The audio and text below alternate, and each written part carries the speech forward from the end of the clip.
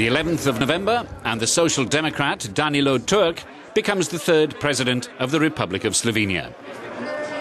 As he takes up office, so Slovenia takes on the rotating presidency of the European Union, picking up where Portugal will leave off on January the 1st. Euronews met this former international diplomat at his campaign headquarters a few days before he officially takes up the reins. And to begin, he outlined his vision of Europe and Slovenia's presidency of the EU. Mr. Turk, hello. When you were elected, uh, you have, uh, well, one of your messages to the EU was uh, trust us and we will hold a good presidency of the EU. Do you feel this trust is missing at the moment? I don't think so. Uh, I believe that uh, this message is coming from every quarter in Slovenia. I think that Slovenia is really quite united with regard to the importance of uh, EU presidency and the fact that uh, the choice of Slovenia was already an expression of trust. Uh, and I think that since that choice was made, uh, Slovenia did everything as it should, and we are well prepared. Well, you said that everybody would be watching you, especially the, the new EU members. So, um, where do you place your priorities? What difference can you make? Priorities are set by issues which uh, relate to uh, European Union as a whole, no matter who presides. I think it is very important that the new treaty was finalized during the Portuguese presidency. So one of the issues which had the potential of becoming a complicating factor in the European Union was removed in a timely fashion. This really uh, sets the stage for other things that will have to happen in the European Union. I think Lisbon strategy will be very high on our agenda from among general issues.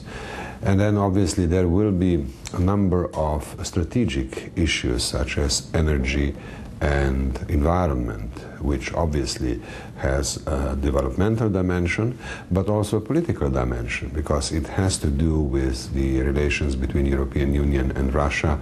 And then also obviously there are specific issues such as Kosovo, Middle East, where European Union has to make itself felt as an important global actor. And here Slovenia will try to help. Regarding the, the Western Balkans, you have uh, asked for a fast integration of all the, the states in the, in the region. So where do you start? And no, I think that all uh, countries of Western Balkans have legitimate aspirations in that regard.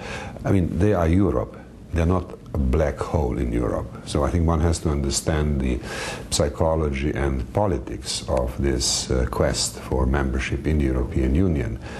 Uh, on the other hand, uh, one also has to recognize that candidate countries have to fulfill conditions. So uh, Slovenia will try to help uh, those countries to be uh, quicker and better prepared to fulfill conditions which are necessary for membership in the European Union. Including for Serbia. Absolutely. I think one has to be very serious about these matters. Um, it is one thing to start the accession process, uh, it's another thing to talk about admission. And, um, and I think for that, for the latter part, it's clear that uh, things have to happen. I mean, General Mladić has to be handed over to the tribunal in The Hague.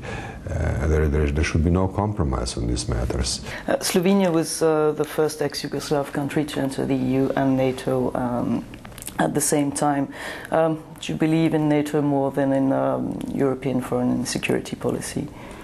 Uh, I think that this is a false choice. I think we, what we believe in in Slovenia is um, strengthening of European common uh, foreign and security policy. We think that this is a vital element of European future. We have to think strategically about uh, common foreign and security policy. Um, and in that context, I would say we, we, we need to have clarity with regard to accession of Turkey in European Union. What does European Union want globally? How does it relate to uh, major areas uh, of crisis and potential wealth, such as the Middle East, where Turkey is uh, an immediate neighbor?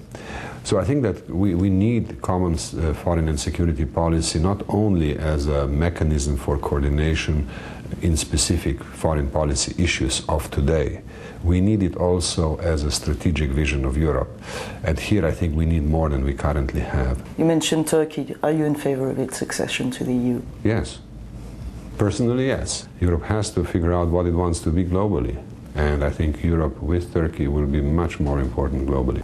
Another issue which is causing a lot of uh, debate is immigration. Um, do you think the EU is going in the right direction, that immigration policies are the right ones at this stage? Well, I'm not entirely sure what uh, European immigration policy is at this point. I think that it is still very much um, uh, a project in the making. And I think that European Union will have to figure out how to open itself to larger immigration. We'll, we'll, need more immigration. And we live as a part of globalized world, so Europe cannot be a fortress. Um, at the same time, Europe has to figure out how to how to invest more and better in places from which the immigration or emigration pressure on Europe is coming. Finally, the Slovenian presidency of the EU will be followed by France.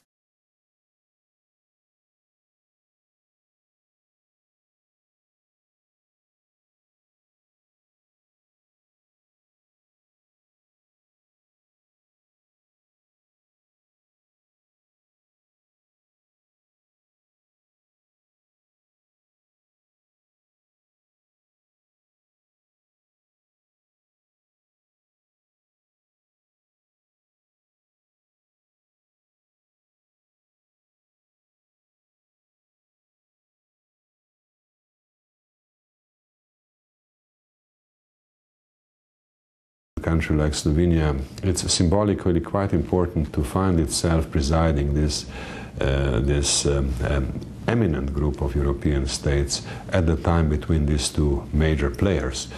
And obviously, the German presidency has had an influence on how Slovenia's presidency will go. I mean, after all, the German presidency started the um, new treaty uh, discussions and well, restarted them, and France obviously is eager to to continue, and and we are in the middle, and this is just wonderful.